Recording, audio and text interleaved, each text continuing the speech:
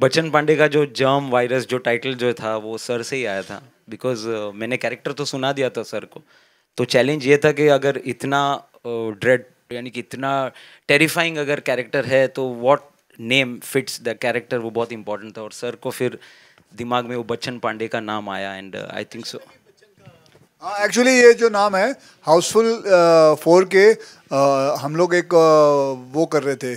Housefull four नहीं Housefull three ना four क्या कर रहे थे पहले वो सक्सेस पार्टी कर रहे थे साजिद नडियाड वाले के ऑफ़िस में। Four, तब फोर तो तब सब लोग आए हुए थे। तब मैंने uh, एक फ़ोटो देखी थी अभिषेक बच्चन की और चंकी पांडे की।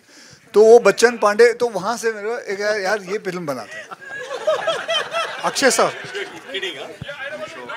किडिंग क्या होता है यार? मैं यहाँ मज़े लेने के लिए बैठा हूँ। किडिंग क्या? मतलब मैं सच पूछ ले हुआ था कि नहीं? हुआ था कि नहीं? हुआ था हुआ था। अक्षय सर। लुक के बारे में। लुक के बारे में हाँ लुक आहिस्ते आहिस्ते बनाते गए। आ, कभी आ, दो आँख में लेंस डालते थे फिर एक आँख से निकाल लेते थे फिर कभी टर्बन पहनते थे कभी निकाल लेते थे।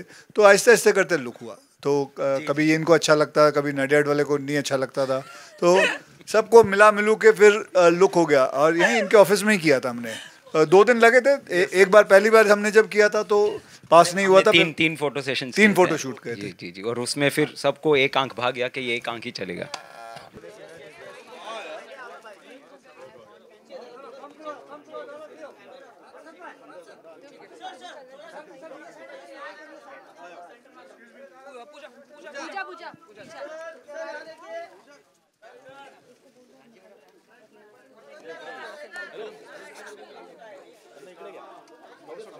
काय?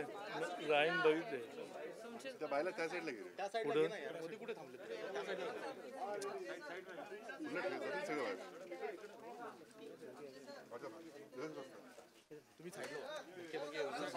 अच्छा, जरा बस. जरा बाहेर जाके खड़ा.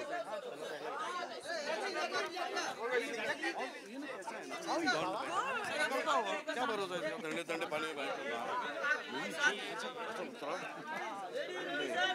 सकता है प्लान को मैं अभी मैंने पूछा तुम कैसे जाते हो पीछे लॉबी पे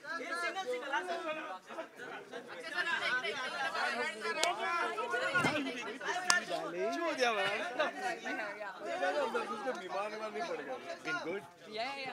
I like that you have. Have you ever seen the elasticity on his face? See, huh? See, like, see, like. It can go. No, अभी हो गया. Animated